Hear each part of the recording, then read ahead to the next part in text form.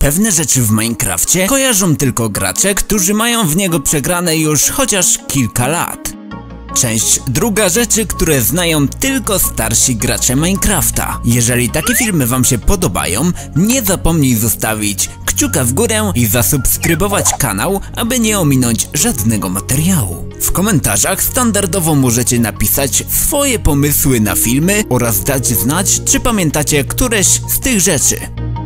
Zanim został dodany enchanting, diamentowe miecze zadawały troszkę większe obrażenia, a przed betą 1.8 zadawały również większe niż łuk. Aktualnie mamy tarczę do bronienia się przed atakiem.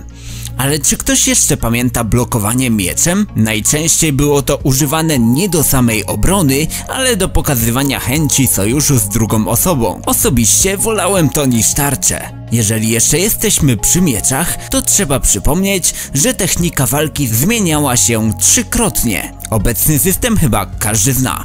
Poprzedni, czyli jak najszybsze spamowanie mieczem, był bardzo przyjemny w rozgrywce, ale pozwalało to w bardzo łatwy sposób wykorzystać w cheatach. Najstarszą techniką było spowolnienie miecza, tak aby nie można było bić nim szybciej niż ustalono. Nieważne jak szybko klikaliśmy, uderzanie miało swoją maksymalną, dosyć powolną prędkość.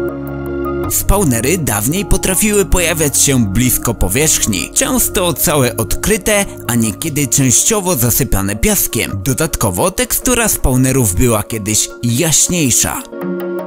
Aktualnie tak zwanego koksa, czyli najlepsze jabłko w grze, które daje dużo efektów, można znaleźć tylko w jakichś strukturach. Dawniej koksa mogliśmy wytworzyć dzięki sztabkom złota. Był to bardzo ważny element w PvP.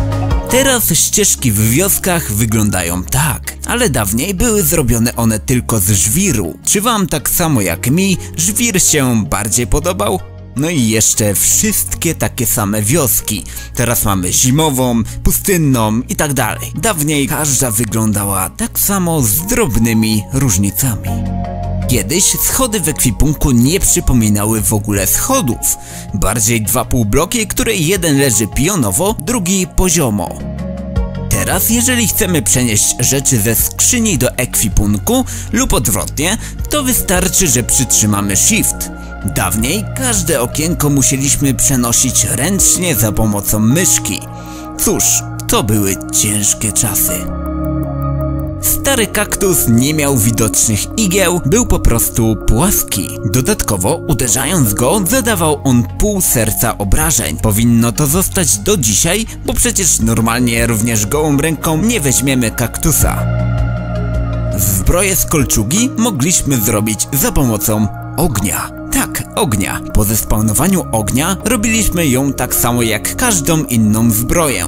Przed enchantingiem miała ona nas chronić przed ogniem. Do niedawna ogień i wodę mogliśmy zespawnować za pomocą komendy GIF.